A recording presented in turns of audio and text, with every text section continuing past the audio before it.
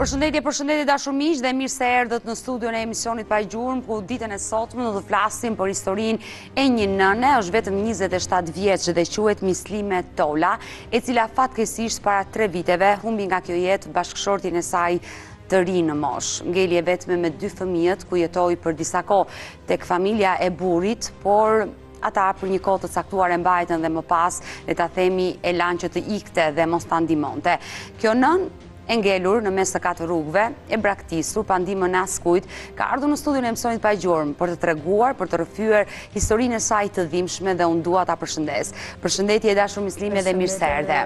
Përshëndetje dhe na vjen keq për gjithë atë që keni kaluar dhe keni përjetuar në jetën tuaj edhe pse jeni vetëm 27 vjeç. Faleminderit gjithsesi edhe juve. Me këtë emisionin, ju falënderoj shumë që na prutë në këtë gjendje këtu. Edhe kjo historia ime është... Por, përpara se të ma rrëfesh historinë, e kuptoj që ke po. emocione. është hera e parë që del në një studio televizive dhe është e kuptueshme. Më lejo të prezantoj dhe juristen Nexhi Beqiri, e kam thërritur sot, sepse është sa herë mbështetësja më e madhe. Mhm. jo vetëm grave të dhunuara, por edhe ato që kanë ngelur të ve, të vetme, pa ndihmën e askujt. Përshëndetje dhe mirë se erdhe, Zonja Nexhi. Përshëndetje, Odeta. Unë i pashë dy fëmijët, ishin po, korridorit të Report TV.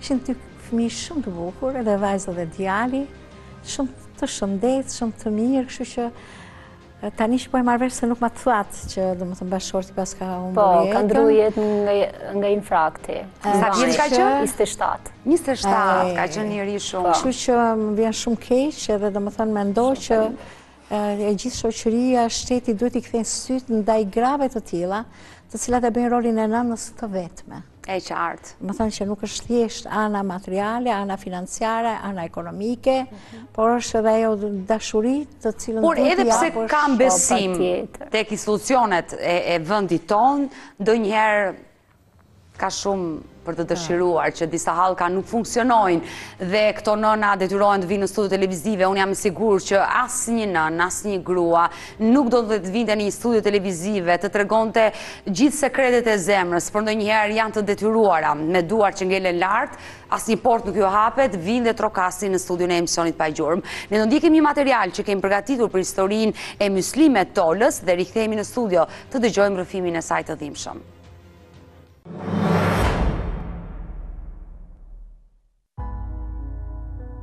Një nënë e ve me dy fëmijë të mitur ka përfunduar në mes të katër rrugëve. Pas ndarjes nga jeta e bashkëshortit, 27 vjeçarja nga Tropoja, Mislime Tola, jeton në kushte të vështira. E braktisur dhe pa asnjë ndihmë nga familja e saj dhe bashkëshortit, përpiqet të mbijetojë mes varfërisë dhe dhimbjes që e kanë kapluar.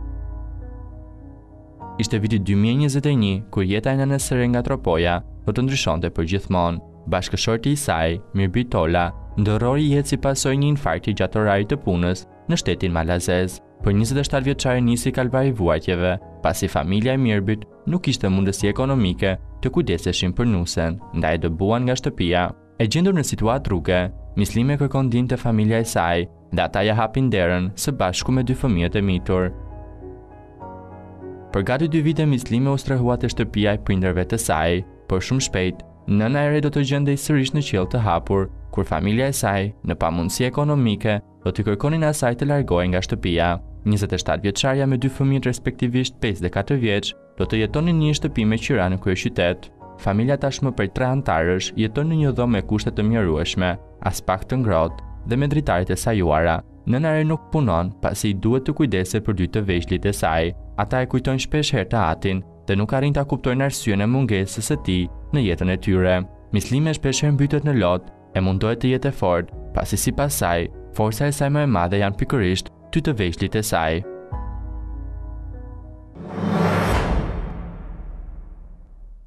Kjo është historia e kësaj nëne dhe dy fëmijëve të saj. E dashur Mislime, Edhe pse kanë kaluar tre vjet, dua të t'i jap ngushëllime për babain e fëmijëve që ke humbur nga kjo jetë. Shumë faleminderit. Jeta juaj besoj ndryshoi përpara tre viteve. Po, çfarë të bësh? Kështu është jeta. Çfarë ndodhi me bashkëshortin të ndjerin? E po, kështu i. Kështu i erdhi dhe atij. Kishte probleme, vuante? Jo, jo, asgjë. Asgjë s'kishte, çdo gjë ka bo. Nuk e di si me ta thanë për Zotin, por është shumë e dhimshme. A ndodhej në shtëpi, kur ndodhi fatkeqësia, jo. apo ishte dhe larg jush? Jo, ka qenë Mal të Zi. Ka qenë Mal të Zi edhe punonte atje me babën e vet. Thjesht, kur na erdhi një lajm kështu nga telefoni, Xhaxhi vetë ishte që na mori. Ai ju dha lajmin e po. po. Edhe ka qenë 12 e natës ku ndodhi ajo gjëja. Tani fëmijët ishin në gjumë, kështu s'ka marrë vesh gjë. Thjesht nga ora 4 kur e kanë sjellë në shtëpi, në Dibër, atëherë fëmijët janë ngri komplet. Sa vjeç kanë qenë fëmijët? Çuni ka qenë një vjeç, e la, sa i bëri ditëlindjen edhe iku. Një vjeç, ka qenë i po. vogël, nuk e ka kuptuar, besoj. S'e man mend. Ndërsa fëmija... Kurse goca, dy vjeç e gjysë. Ajo e mban mend shumë. E mban mend po, po, imazhin e babait? Patjetër. Ajo gjithçka mban mend. Të pyet? Kur hi, kur kshu, po shumë. Të pyet për babain? Po, po, patjetër. Ajo gjithmonë, për shembull, kur del, më thotë, mami thotë, Ku e kam babin?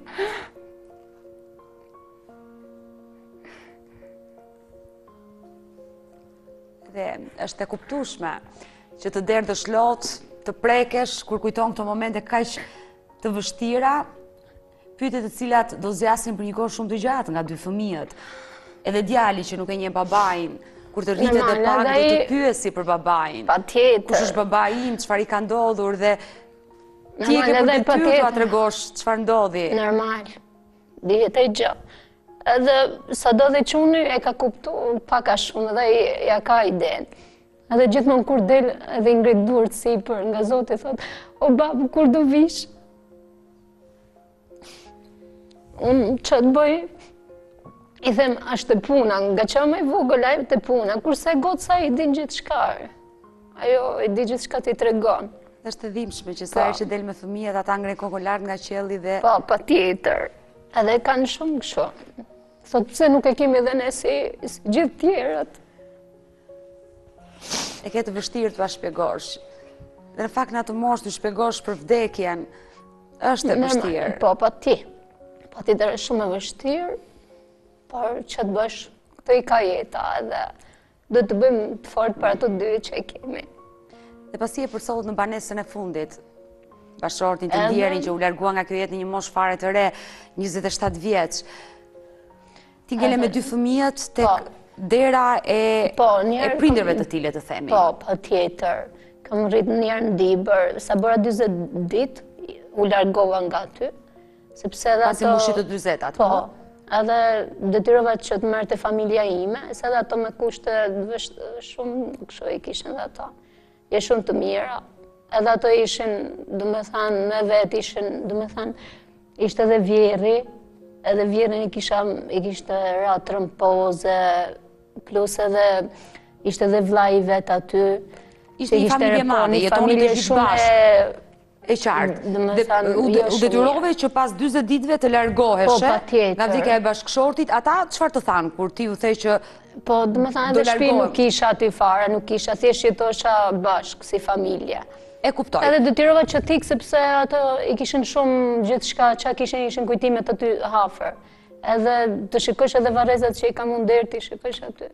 Edhe prandaj u detyrova vetëm për fëmijët. Që të largohesh aty. Po, po, patjetër. Se, sa dilje te oborri i shpis, kishe varrezat përballë dhe... Po, po, përballë sa t'hapshe derën aty. Edhe u detyrova që t'ik ma shumë për fëmijëve, sepse fmija po t'i shikonte goca u çmendte fare. Se ajo lidhte shpirtin për ta. E kuptoj. Edhe kur e shikon kështu në foto, ajo mbush me lot. Qan për babain? Normal, se e ka pas dashtë shumë. Është shumë...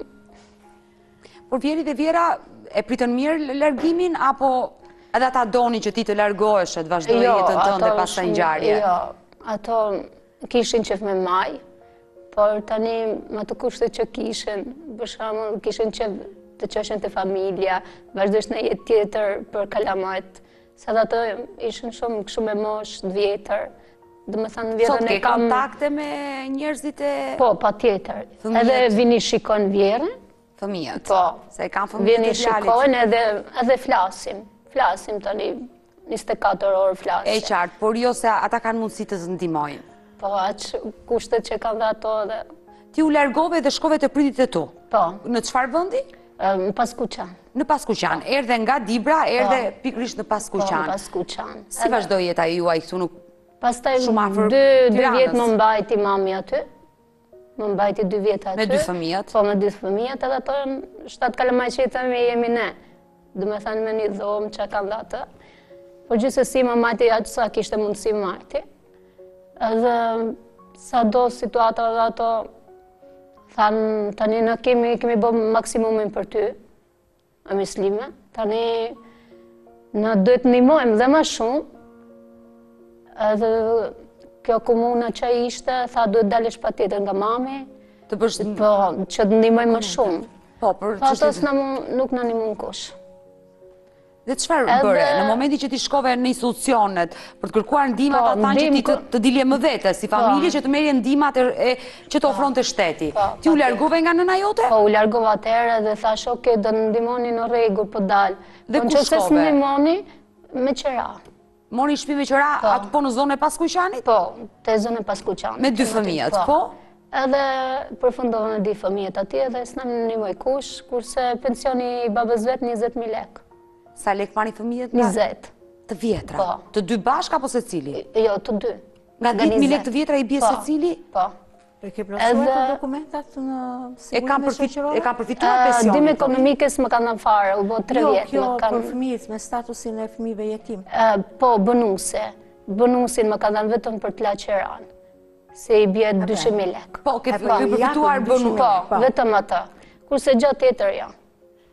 Por ndërkohë, ky pension i fëmijëve më bën shumë përshtypje zonja Nexhi. Jo, 200.000 thotë i marr. Jo, jo, jo.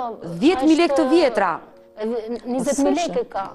Atëherë, mos ngatërro bonusin e qirasë. Ai s'ka patur siguracion, jo. ka punuar pa siguracion. Pa siguracion. Dhe ju takon fëmijëve nga 10.000 lekë të vjetra, po më mirë mos t'ia japin fare. Dhjetë mijë lekë të vjetra është qesharake të thuash ne trajtojmë me pension kaq fëmijë jetimë në Shqipëri, dhe shuma është dhjetë mijë lekë të vjetra, më mirë mos e jep fare. Duhet të marrësh asistencën sociale, edhe për çdo fëmijë me një sasi. Po prandaj të kanë thënë që bëji dokumentat më vete, se ti je kryefamiljare, po. dhe ti do marrësh për të dy fëmijët nga 78.000 lekë të vjetra. Sepse janë me statusin, domethënë, fëmijë jetim, ti je kryefamiljare. Po. Për gratë ka një vit e ca që është miratuar ligji, për nëna që i rrisin fëmijët e vetëm, e vetë, të po, po, vetme, me një fjalë, marrin për të dy fëmijët që keni juve, domethënë një shpërblim. Gjithë që keni jeni prezentuar ke sigurimet shoqërore. Po, po, kam shku po, edhe tani më kanë thanë, biles më kanë thanë s'do marrësh fare tani, je e aftë për punë, thotë. Unë s'kam ku shkoj ku t'i lë. Jo. Se unë për e aftë për punë, punën e kam se kam punu 5 vjet kur isha gocë. E para njëherë që duhet të regjistrohet çdo qytetar i Republikës së Shqipërisë, po. i cili është në moshën e punës, duhet të regjistrohet ke zyra mhm. e punës. Domethënë që si kërkuese pune.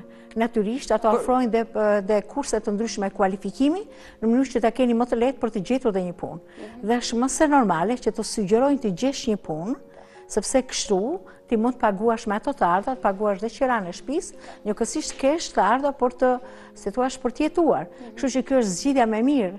E biles unë, meqë ju keni ardhur në këtë studio, unë e gjykoj shumë mirë që jeni në kushte shumë të vështira, keni përgjegjësinë për të rritur mirë ato fmijtë, po ka plot gra dhe vajza në botë, të cilat mbeten të vetme për arsye nga më të ndryshme dhe kur bëjnë divorce e të tjera, edhe domethënë, puna dhe të ardhurat e siguruara nga puna janë mjeti kryesor për të jetuar po. dhe për të jetuar me dinjitet. Kështu që në këtë studio ma merr mendja që unë do t'i thosha kush ka mundësi për ta punësuar sa më shpejt, do të ishte gjëja më e mirë për juve. Në që të keni të ardhura po, po. edhe siç thashë të paguani normalisht jo atë shpi ku jetoni sot në kushte shumë të vështira, që mund të krijojnë dhe probleme për shëndetin e fmijve, por që të mund të merrni një shpi tjetër. Se ke marrë një shtëpi që s'ka... Isha me një shpi tjetër, isha në institut ishte, atje po, po. nuk më ecshin letrat. Detyrohesha që ta ndrrosha dhe fëmijët, duhet me ec një orë e gjysë në kamb. Për të vajtur në shkollë? Po, po. Edhe prandaj dojsha që ta ndryshoja. Që ta ndryshoje shtëpinë. Duhet të besosh po që... Po mos në to. Që nga një vajzë shumë e ndjeshme, e kuptoj shumë mirë, i ke ato dy fëmijë si drita, se i pashë nëpër korridoret, domethënë i ke të bukurit e dheut, i ke shumë të sjellshëm, shumë të dashur, etj. Kështu që duhet të kesh besim që me përpjekje mund ta rregullosh dhe më mirë situatën, Edhe kush të vëjë dikush dorën në zemër që të ofrojë një punë sa më shpejt, me një rrogë, domethënë, normale, jo me ato rrogat 300.000 lek që s'ke ça të bësh më përpara, dhe që të mundet, dhe dhe... Për t'ia dalë, për t'ia dalë në jetën tënde... Prandaj jemi këtu në këtë studio, që të ndiqemi dhe dikush të na telefonojë, për këtë 27 vjeçare që i mbush sytë me lot dhe... Dhe jeta juaj sot është e vështirë, Normal. Si ia del? Po, ne do vazhdojmë. Do të ndihmojmë. Do ecim por do të ndihmojmë për të ofruar një punë. Dalona do të. E vetme dy fëmijët ngrihesh në mëngjes, si është një ditë e jotja, një nënë që besoj, zgjohesh me lot në sy dhe e mbyll ditën me lot në sy. Kur shikoj ata dy kështu, Edhe më shikojnë dhe ato për shembull pse qan, jo mami s'po qaj, them, thjesht më ngeli diçka në sy, i them, për ty kështu. Justifikon po, lotët, do të jesh e fortë përpara fëmijëve. Po, patjetër, asnjëherë nuk ulem për këto, thjesht do të vazhdoj përpara, edhe asnjëherë nuk i, as i uli këto i lutem zotit, që më shumë të bëjë mrekullirat për këto, por për mu s'du asigjo. Por po je shumë e re, dhe ti, je vetëm 27 vjeç, ndoshta... Jeta ime iku,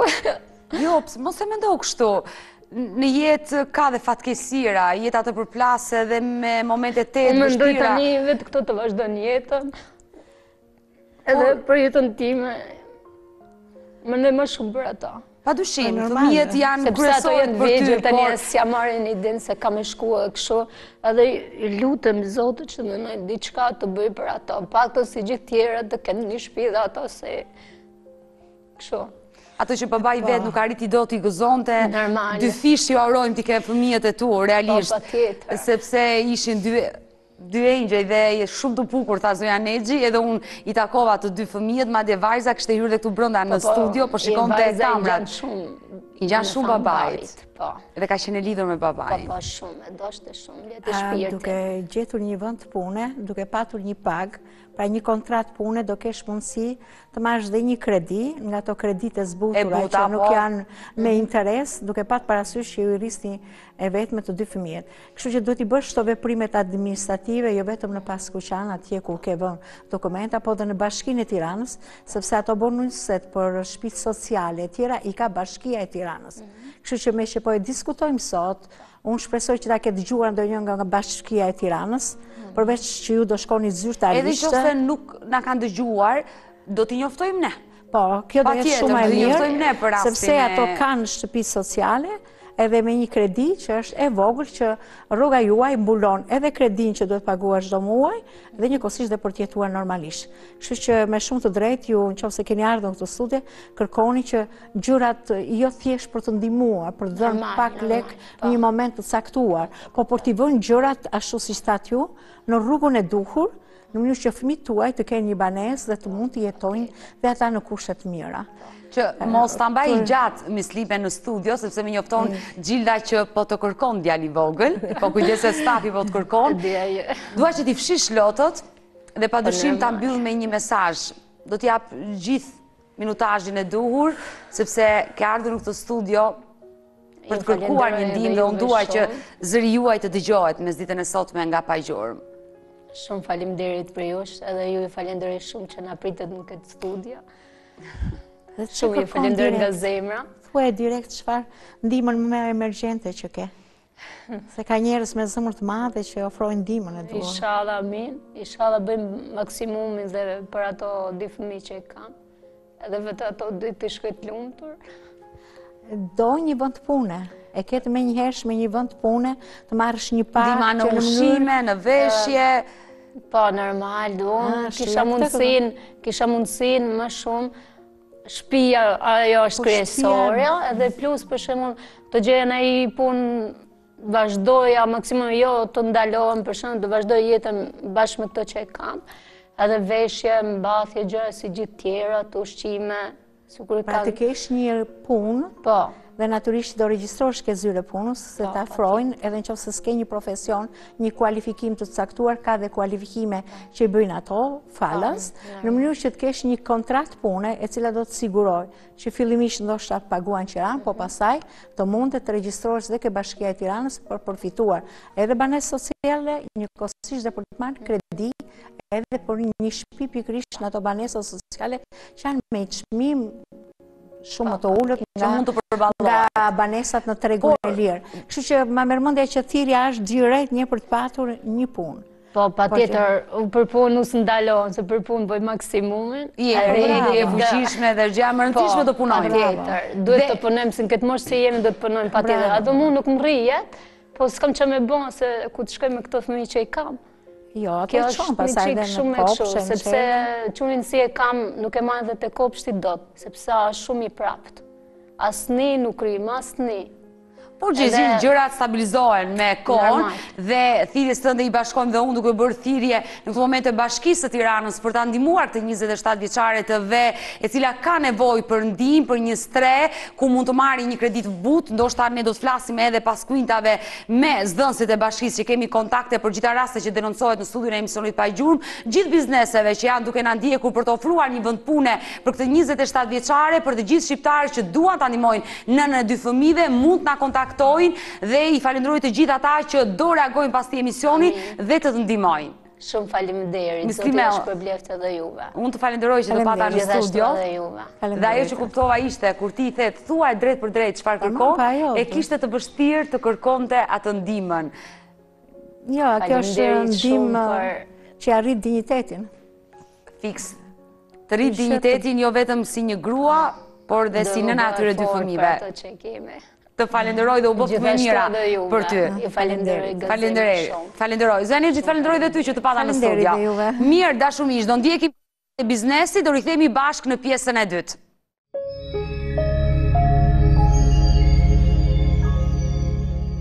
Jemi rikthyer në pjesën e dytë të dashur miq dhe në këtë pjesë të dytë unë dua të sjell në vëmendje një histori që e kemi trajtuar edhe përpara disa ditëve në studion e emisionit pa gjurmë për një një të ri 25 vjeçar nga Tepelena i cili është zhdukur dhe ka humbur çdo lloj kontakti me familjarët që prej 12 qershorit të vitit 2018 dhe bëhet fjalë për Hamit Memlikën që regjia menjëherë të më ndihmojë me pasaportën dhe fotot e Hamit Memlikës për të gjithë teleshikuesit e pa gjurmë e njohin mirë këtë histori besoj, Bushi thirrej ndryshe, janë pikërisht familjarët që kanë denoncuar humbjen edhe në studion e emisionit pa gjurmë dhe gjatë ditve të fundit ka pasur disa zhvillime e informacione që kanë mbërritur në redaksinë tonë, informacione që ne po mundohemi t'i verifikojmë deri në fund me shpresën se do arrijmë në gjurmët e Hamit Memlikës. Me mua në studio ka ardhur vëllai i tij Zani dhe dua ta përshëndes Zani përshëndetje dhe mirë se erdhe sërisht në Pa Gjurmë. Do të jemi së bashku për të folur për historinë e vëllait tuaj, por për të diskutuar dhe për informacionet. Në emisionin e fundit, të kujtohet mirë, ne u lidhëm po, po, po. me disa dëshmi, disa numra, ua kemi kaluar, unë do të pyes nëse ti ke folur vetë me dëshmitarët, çfarë të kanë treguar, por një tjetër dëshmi ka mbërritur sot, që unë do ta jap Po. Ju do e dëgjoni dhe uroj që të zbulojmë diçka, të zbardhim okay. diçka nga vëllai. Okay. Për gjithë ata që për gjithë ata që nuk e njohin historinë e 25 vjeçarit nga Tepelena, Hamit Memlika se si ka humbur ai, ndjekim këtë material të shkurtër dhe rikthehemi.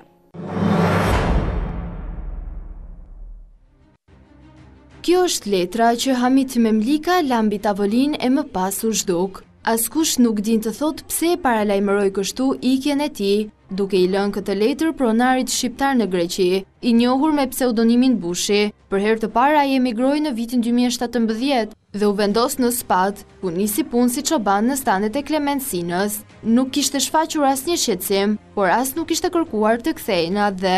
Kontaktet me familjarët i kishte të rregullta deri më dymbëdhjetë qershor të vitit dy mijë e tetëmbëdhjetë, kur telefonoi për herë të fundit të vëllanë, Ervin Memlikën. Ky i fundit nga studioja e emisionit Pa Gjurmë, ngre akuza të forta për pronarin shqiptar, pasi katër ditë nga zhdukja e Hamitit, Klementi i telefonoi duke i komunikuar se i vëllai ishte larguar papritur. Këtë gjë vetëm ai e di, ne nuk e dimë, sepse ai thotë që ka ikur sipas tij, e ka lënë datën pesëmbëdhjetë dhe s'e ka gjetur në gjashtëmbëdhjetë, po mbase janë bërë gjëra të tjera dhe unë jam lajmëruar në gjashtëmbëdhjetë, këtë nuk e di, djali mund të ketë ikur dhe vetë, Por le të kuptoj që aty mund të jetë diçka e keqe. Klement Sina, pronari i Hamitit, u lidh me studion e emisionit Pa Gjurmë, ku hodhi poshtë akuzat e ngritura dhe tregoi më tepër detaje për zhdukjen e të riut. E kam marrë nga Shqipëria, ka qenë i zënë me njerëzit e shtëpisë, kishte biseduar me dajën e vet, i kishte thënë që unë këtu te kjo punë do rri shtatë muaj dhe pastaj do iki, dhe e vërteta është që ndenji shtatë muaj dhe iku. Po. Se babai i tij është takuar me baban tim mbrapa një muaj në Shqipëri dhe i ka thënë që ka ikur djali yt dhe ka filluar punë me një kushëririn e vet, ai person Bushi që thoni ka punuar në një fshat të Shqipërisë në Dhëmblan të Tepelenës, çoban, dhe të njëjtën veprim që ka bërë këtu tek unë e ka bërë dhe tek ai atje. Telefoni i tij rezultoi i fikur, ndërsa në rrjetin social Facebook, edhe pse rezultonte i humbur, ka qenë aktiv deri në fund të vitit dy mijë e tetëmbëdhjetë. Pasi e kanë parë online, familjarët i kanë shkruar por s'kanë marrë asnjë përgjigje. Pas humbjes së të riut, në familje fatkeqësitë do të pasonin njëra-tjetrën, babai ndërroi jetë ndërsa nëna pësoi paralizë. Nga shtrati, e sëmurë dhe ajo bën apel për ndihmë për gjetjen e të birit. Bushi të jesh mirë o zot. Bushi. Na ka marrë malli. Ku ndodhesh s'ta dimë ku je.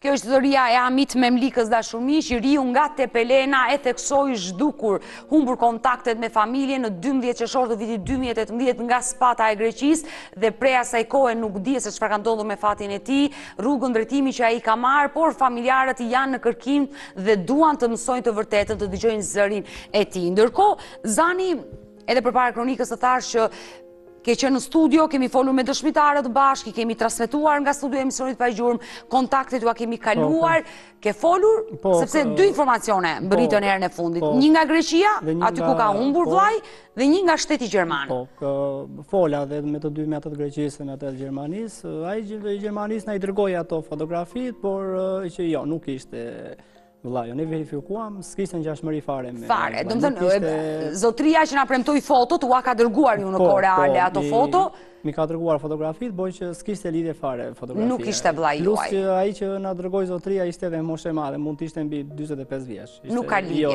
pra bie, lidhje. Po, po ishte... Po është informacioni po, për uh, e qartë. Ndërko dëshmia që erdhi nga Greqia që edhe vllai tjetër, tha që këtë dëshmi e besoj më shumë, sepse po, siç tha, aty ka humbur vllai, aty po, ka humbur Hamiti. Ajo zonë, ku thotë ajo zonja që kishte takuar vllain tim, më afër me Zonën ku ka punuar vllai është edhe ajo tha që e kam takuar atje se burri i kësaj atje punonte. Po. Kjo tha vajta për t'i çuar bukë burrit dhe e pashë atje, po që tani nuk e dimë edhe neve ta besojmë apo jo, se dyshimet e mia, Aida, janë shumë të rënda përsëri sepse unë kam frikë se mos Kjo mund të jetë ndonjë e afërme e pronarit të ish vllajt edhe ndoshta e ka futur ai për të shmangur këto kërkimet neve të vllajt. A ju dyshoni se po. ndoshta personi që po, ka telefonuar? Po, unë personalisht dyshoj shumë këto gjëra sepse ndoshta mund të jenë dëshmi për ta shmangur neve kërkimet e vllajt ose për t'u larguar nga pronari.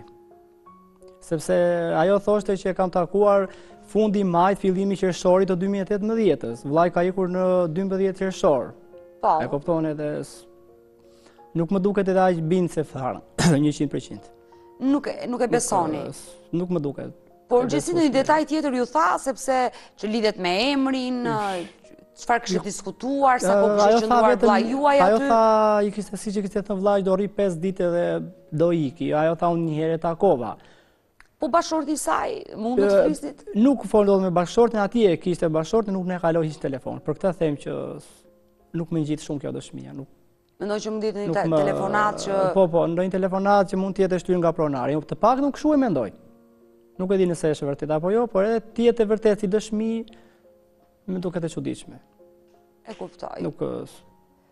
Mirë, Zani, unë jam detyruar që të gjitha informacionet që vijnë për vëllain tuaj, t'ua tregoj dhe t'ua jap. Oke, unë ju falenderoj.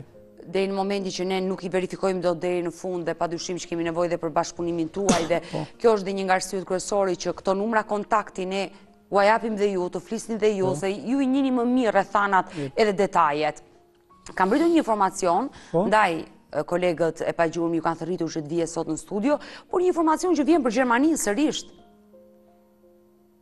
E çuditshme për Gjermaninë. E çuditshme dhe se si... Jo për të njëjtin qytet. E kuptoj, e kuptoj. Bëhet fjalë për një qytet tjetër. Okej.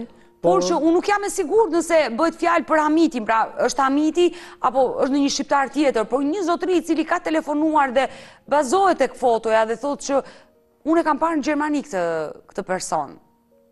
E kuptoj, po tani mua më bën çudi se si iku ai në Gjermani, se ai pasaportën e ka lënë aty te vendi i punës. Si u largua ai drejt shtetit gjerman apo drejt shtet ndonjë shtet tjetër. Keni të drejtë që mendoni kështu, kur ai nuk ka pasur një dokument, por nëse është larguar ne e dimë historinë e shqiptarëve, çfarë forma gjejnë për të kaluar kufirin? Si të gjithë që largohen në forma të ndryshme, por ndoshta, ndoshta. E dëgjojmë po, njëherë çfarë po, thotë po, qytetari, regjia do na ndihmojë për të na e dhënë këtë dëshmi, e dëgjojmë dhe e diskutojmë. Okej, në rregull.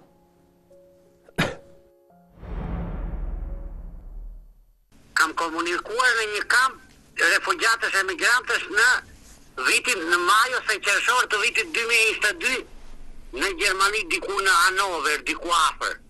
në një qytet që quhet Bramsche. Ai nuk më pohoi shumë gjëra se nuk fliste, po unë kur pashë foton e kuptova. Jo se ka ngjashmëri, është i njëjti person, jam më se i bindur. Shumë djalë i urtë, shumë djalë i mirë. Jam invalid, jam i paralizuar, kam dhe krahun e majtë e kam të ngrirë. E kur më pyeti që a ke familje a të ndihmojnë, unë i thashë që nuk më ndihmon askush. Ai tha, Familjarët e sotëm tha nuk të ndihmojnë, edhe unë të njëjtat probleme kam, tha. Edhe nuk tregonte shumë gjëra, as emrin nuk e tregonte as se nga është nuk e di. Po unë e zbulova që ishte nga Tepelena me anë të një personi tjetër. Ky më doli për zot mua, a kupton? Edhe i tha a e njeh filanin i tha ti nga Vlora se unë jam nga Tepelena dhe atë e kam mik ku e di unë për një person i cili ishte shumë i rëndësishëm në policinë e shtetit. Thjesht ai person kishte diçka për të fshehur, më tregoi pastaj që kishte lidhje me një vajzë tjetër dhe tha unë kam lidhje me një vajzë tjetër. Po nuk është se jepte shumë të dhëna, kishte diçka domethënë kështu. Edhe kishte kërkuar azil se e kishin kapur në punë të zezë, se këtë ma tregoi. Mua pastaj më çuan në një kamp tjetër, i cili ishte për ne të sëmurët, edhe unë nuk e takova më që nga maji i vitit dy mijë e njëzet e dy.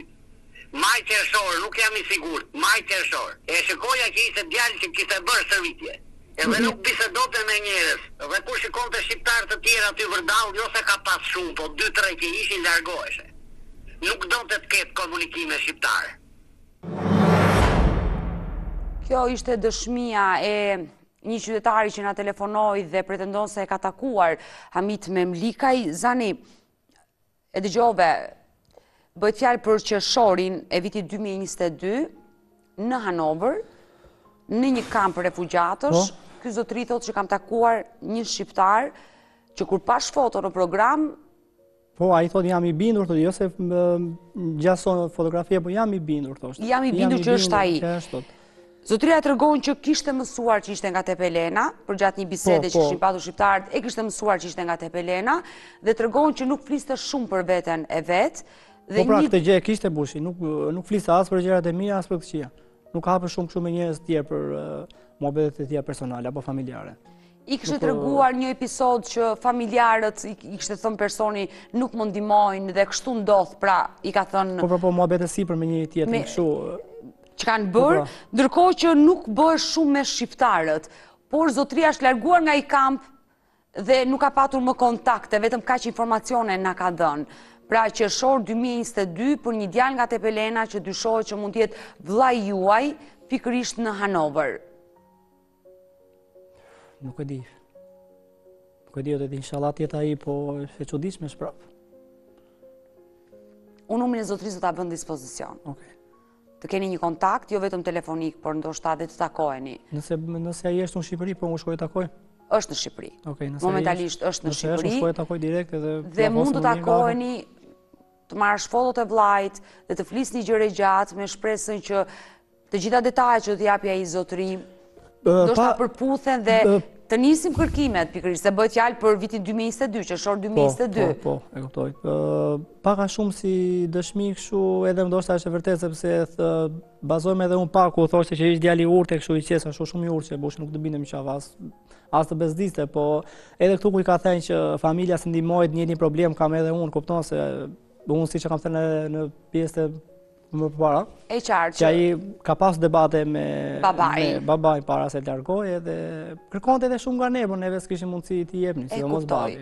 Por e, e ka shprehur përpara dëshirën se donte të emigronte në Gjermani, meqë që po vijnë këto informacione nga Gjermania. E kuptoj, kjo po më çudit edhe mua se ai asnjëherë s'e kishte shprehur dëshirën për të ikur në Gjermani, po ndoshta atij i është dhënë mundësia për të ikur, për t'u larguar.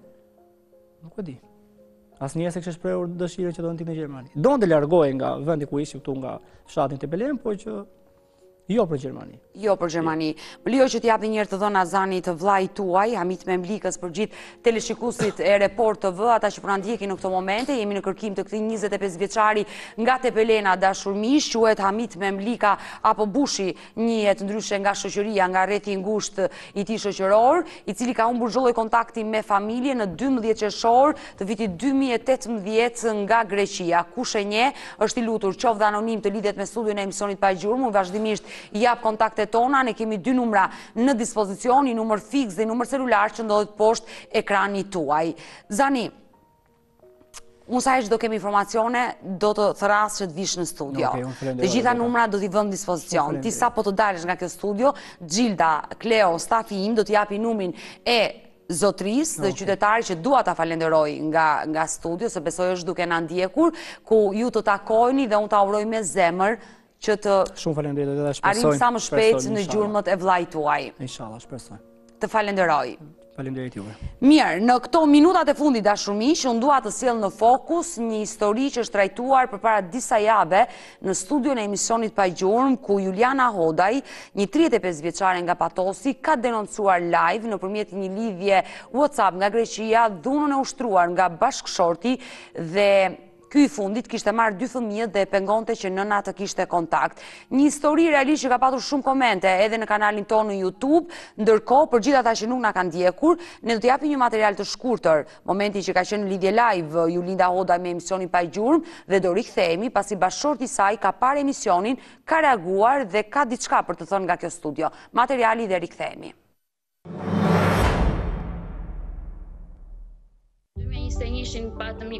Pak kohë më parë, në emisionin e datës 28 dhjetor të vitit 2023, një 35 vjeçare nga Patosi denoncoi live bashkëshortin e saj për dhunë, ndërsa prej kohësh nuk lejohet nga ky i fundit të shohë dy fëmijët e saj. Në një lidhje direkte nga Greqia, Julinda Hodaj rrëfeu historinë e jetës së saj.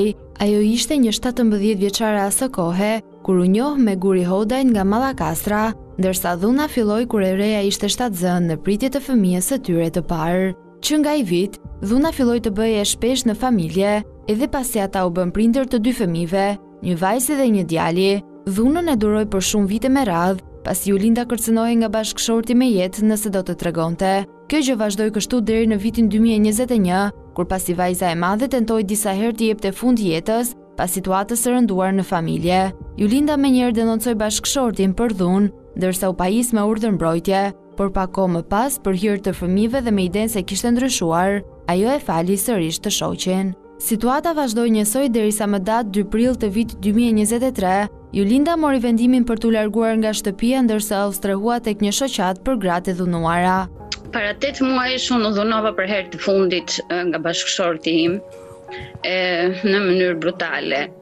Aty kam humbur ndjenjat dhe për moment konflikti ishte për 20 euro.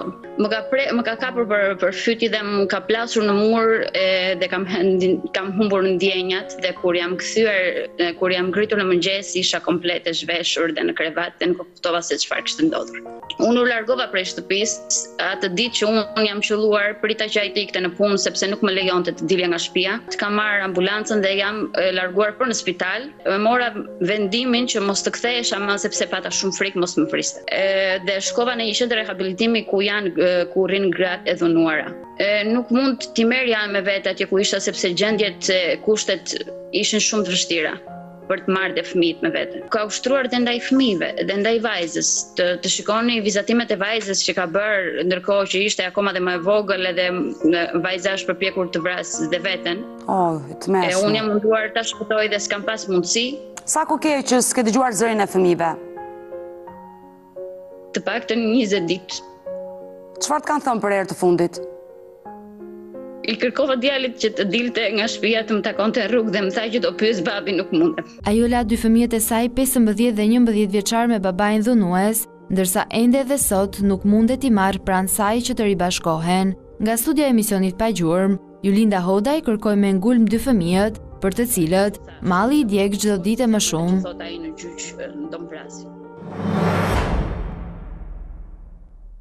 Ky ka qënë denoncimi i Julinda Hodaj, kësaj 35 vjeçare nga Patosi e cila jetonte prej vitesh me familjen e saj në Greqi, po për shkak të konflikteve, ajo ka denoncuar bashortin se ai e ka dhunuar. Dhe do të jem në një lidhje telefonike me Guri Hodaj, bashortin e saj, i cili ka parë emisionin dhe do të reagojë për studion e emisionit pa gjurmë. Ndërkohë, do më njoftoj regjia të kem zilen në transmetim, le të të lidhem me zotin Guri Hodaj.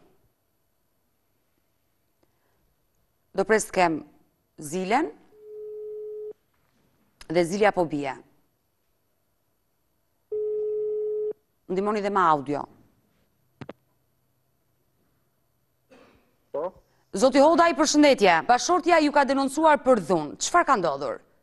Po, nuk ka ndodhur asgjë, këto gjëra janë këtu e tre vjet, unë jam në çdo, i hapur në çdo lloj gjëje me ligjin, jemi në proces gjyqësor, Ju nuk ju ka dhënë asnjeri të drejtë të reklamoni familjen time dhe fotografitë e mia.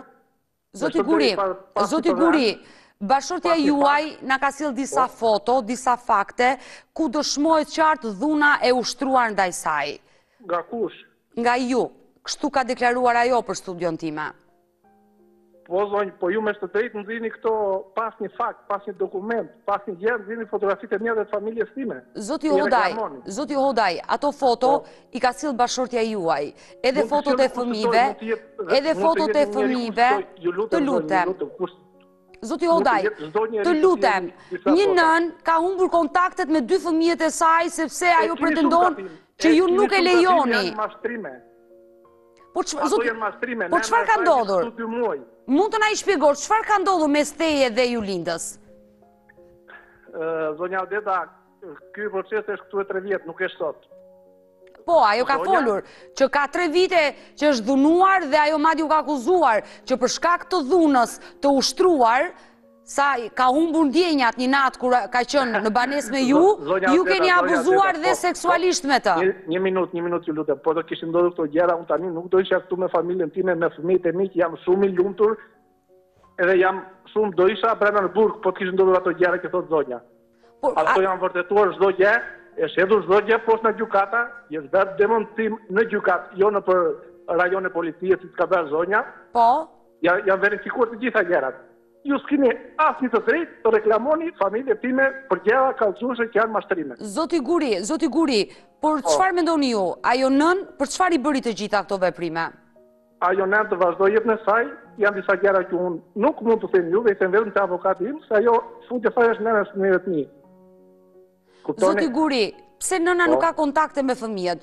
Ndoshta ju, jo, jo ndoshta, por s'ka ndodhur dhuna, ju i hidhni poshtë të gjitha akuzat që e ka bërë në studion e emisionit Pa Gjurmë. Por pse nëna nuk ka kontakte me fëmijët e saj? Më falni një minutë. Po. Nëna, nëna e fëmijëve të mi, dje e kishte djalin me vete, në kafeteria. Unë djalin e kam këtu në shpi, unë jam në shpi tani. Mund të lidhet drejtpërdrejt me fëmijët. Prandaj ju lutem shumë mos thoni gjëra që nuk kanë. Të lutem, zoti zoti Hodaj, unë nuk e kam Julindën momentalisht dhe nuk do bëj avokatën e askujt, por do them fjalët e saj do t'i citoj. Unë i kam, jo, bërë jo, pyetje, të lutem. Të lutem. Jo, më dëgjo pak. Unë po të bëj pyetjen dhe ti s'po më kthen përgjigje. Po, Nëna pse po, nuk ka kontakte me fëmijët? Po ka, po u them. Ça nuk kuptoni? Ka kontakte me fëmijët? Po, ditë për ditë, sa herë të dojë. Edhe thosh që nuk u tha edhe ju në emisionin tuaj, që se unë e dëgjova kur ma dërguan videon. Po? Edhe ajo, një gjë që bëri, që u shtua një denoncim i ri. Nga avokati im këtu në Athinë. Atëhere, Zonja mund të thotë ç'të dojë, është e lirë. E qartë, por, por, por atëherë, po? ju keni jetuar dhe e njihni më mirë. Për çfarë i ka bërë kjo nënë të gjitha këto gjëra dhe ka dalë në një studio televizive duke hedhur baltë mbi figurën tuaj? Për po, çfarë i ka po, bërë? Për t'u hakmarrë ndaj jush apo jo, kjo nënë jo, ka një jo, të drejtë dhe kërkon të drejtën e jo. saj? Jo, jo për hakmarrje. Se s'i ka dalë diçka që të hakmerret. Po për çfarë i ka bërë? Se mua nuk më duket e logjikshme që një po, nënë mos të jetë dhunuar, mos të ketë asnjë lloj keqtrajtimi të dali dhe të shpiki. Mua nuk më duket normale kjo gjë. Zonja Odeta mos thoni fjalë që nuk kanë asnjë lidhje me ato gjëra ashtu. Ju përballoni në fjalë që u ka thënë zonja. Zotri, ajo ju ka denoncuar për dhunë dhe unë po e përsëris dhe ka dërguar foto, foto e dhunuar. Unë nuk e di kush e ka dhunuar Julindën, por ne kemi disa foto që ajo është e dhunuar. Zonjë, zonjë, unë po të ishte, po të kishin ndodhur këto gjëra, po të vesh e dhunuar në spital, i verifikon spitali të gjitha. Apo s'është kështu, apo kam gabim. Jo, logjikisht keni të drejtë. Atëherë, në qoftë se kish ndodhur diçka e tillë, unë po them prapë, nuk do isha Këtu ku jam. Pse i keni dhënë fund martesës? Çfarë ka ndodhur mes jush? Pse i keni dhënë fund martesës? E ato s'mund t'ua them unë se ua thashë edhe prapë, po ju s'doni ta kuptoni. Është nëna e fëmijëve të mi dhe s'mund t'i them këto gjëra në në ajër. Sepse Julinda ka treguar që po. për shkak të dhunës ka ardhur fundi i martesës tonë. Jo, jo, që gabim. Prandaj po ju pyes, për të dëgjuar edhe përgjigjen tuaj, pse ju ka ardhur fundi martesës?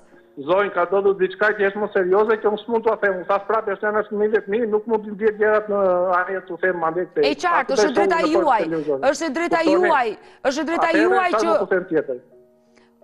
E kuptoj, ndërkohë, fëmijët kanë raport të mirë me nënën e tyre? I shikon sa herë të dojë.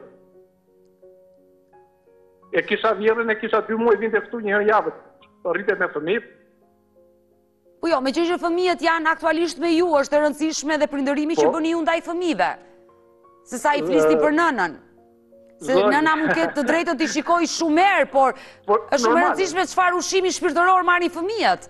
Jo, dhe goca është 16 vjeçe, djali mbushi 12, hyn 13.